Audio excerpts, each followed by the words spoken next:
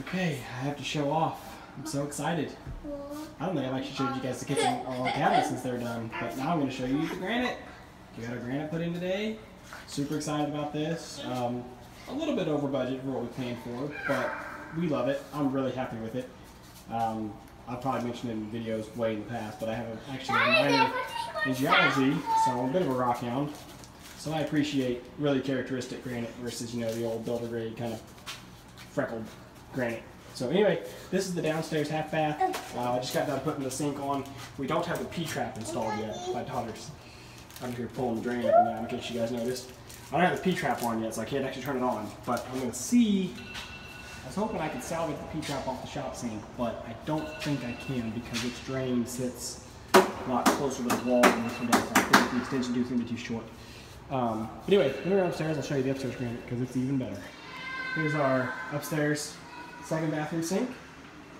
Also covered in tools because we never stop working, but much the same. Now we tour into the master bathroom. Da, da, da.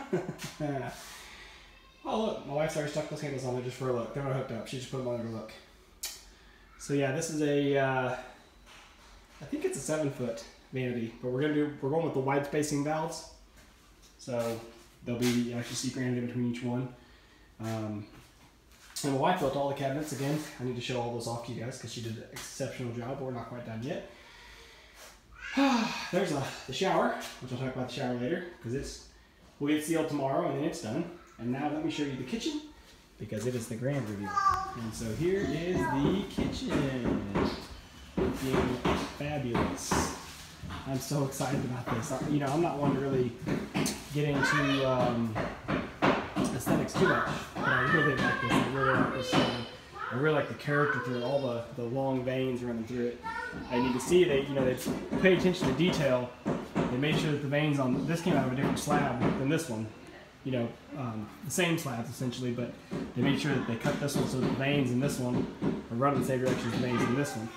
But my favorite part was they actually let us dictate how they cut them.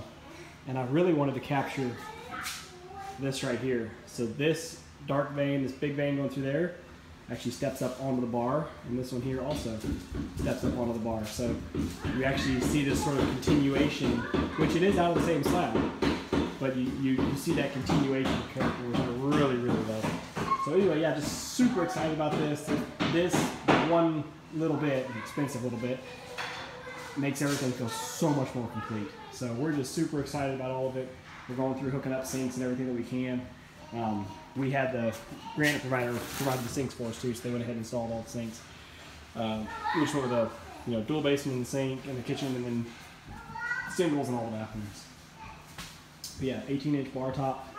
So now we're here fun time to go shopping. We'll get a couple bar stools we sit across here, and the pendants actually line up pretty good.